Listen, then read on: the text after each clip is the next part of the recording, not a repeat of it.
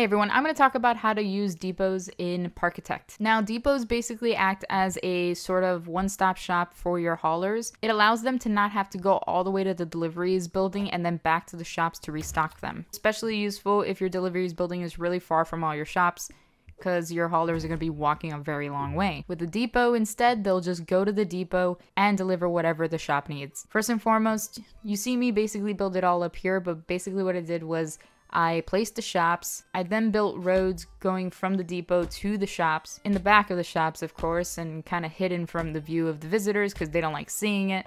And then I connected the depot itself to the deliveries building. In this map, the deliveries building is hidden behind all this like scenery stuff, so I had to actually look through and uh, kind of put the like the weird view, but yeah, I'm showing you here. I'm building the connection tubing to where the deliveries building has its own tubing. Mind you, as was the case with this map, this might mean that you'll need to actually build the tubing going downward or upward depending on wherever you place the depot. But yeah, find that tubing, connect it to the depot's tubing, and you're gonna be good to go with that. The next step to do is to click on the depot itself and then click on the add button and then add whatever shops it's gonna be serving.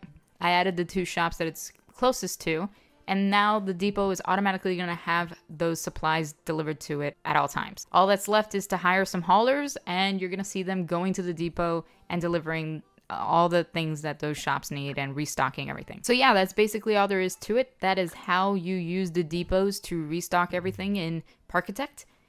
If we helped you out, please leave a like. If you need any other help, please leave a comment down below. Thank you for watching.